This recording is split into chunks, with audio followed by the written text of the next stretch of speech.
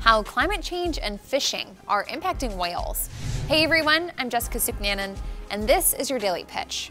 Human impact on various whale species has been a headline frequently.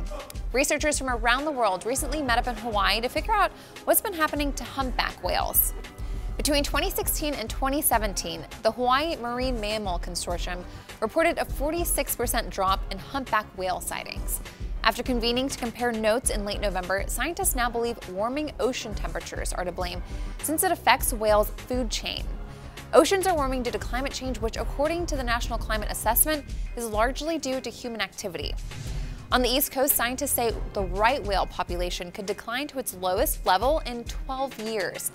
Right whales are among the most endangered marine mammals, with only about 430 of them surviving in the wild. So far this year, no new calves have been born.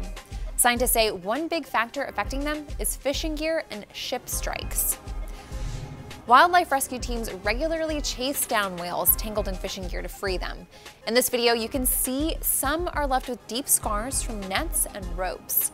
According to a study published by the journal Scientific Reports, fishing gear makes up 46% of debris in the Great Pacific Garbage Patch.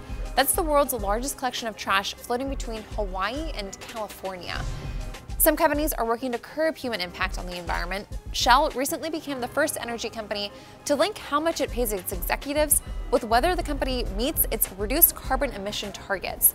Organizations like the World Wildlife Fund are working with fisheries to reduce impact on marine life. And restaurants and grocery stores are beginning to limit single-use plastic products like straws and plastic bags to reduce plastic pollution. For more videos like this, be sure to follow Your Daily Pitch on Facebook and Instagram and subscribe to us on YouTube.